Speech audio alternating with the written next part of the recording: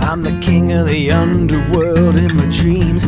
I'm the victim, the rescuer, the perpetrator. I'm the saint.